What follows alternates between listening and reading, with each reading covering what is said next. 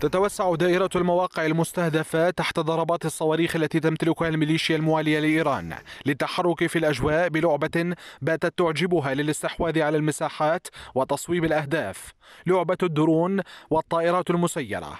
مؤخرا تتبع مركز الروابط للأبحاث والدراسات الاستراتيجية مسار الهجوم الصاروخي المتكرر على أربيل واستباحة أمنها بمعلومات خاصة وثق من خلالها نوع الصواريخ التي يعرفها خبراء السلاح أنها إيرانية الصنع. إلى ابعد من ذلك المدى يوضح المشهد بدقة نيران مشتعلة. أكدت مصادر أن النظام الإيراني يحرك ميليشياته الموالية في العراق لوضع جو بايدن في أول اختبار. والضحية هي الأراضي العراقية سواء الآمنة منها أو المشتعلة.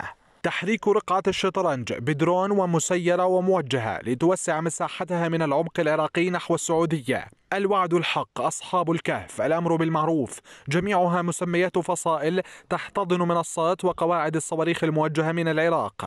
معادلة تفرضها عصابات السلاح بضرب جهود الحكومة كلما تقدمت خطوة صوب الجيران والأشقاء لتعمل على تجفيف منابع العلاقات مع العراق.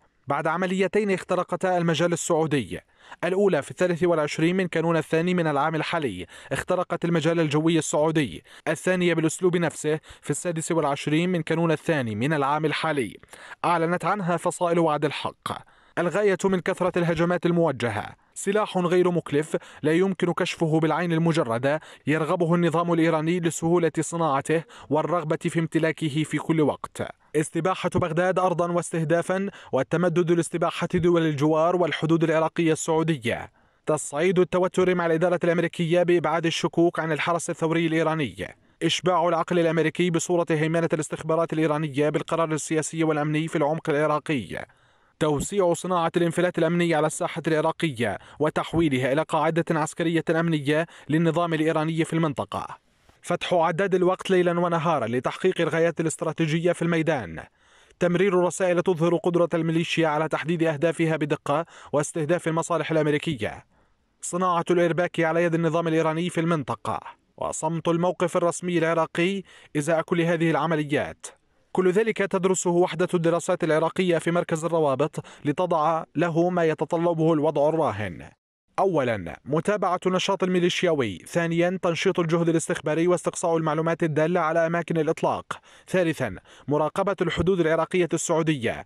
رابعا التعاون الوثيق مع التحالف الدولي. خامسا الانتقال لآلية الرد والمراقبة والتنفيذ المباشر. يقرأ المتابع للتطور الفوضوي في المنطقة أنها صناعة النظام الإيراني للزحف بميليشياته في العراق إلى تحقيق المصالح وفق أهوائه ومزاجه والضغط على الإدارة الأمريكية لرفع العقوبات عن طريق استخدام العراق ووضعه تحت حسابات النار والقرار وقطع نسيجه العربي والدولي ما يلمح إلى خطورة ضياع البلاد كدولة بأكملها إن لم تتوقف سياسة الاستغلال للمصالح الخارجية.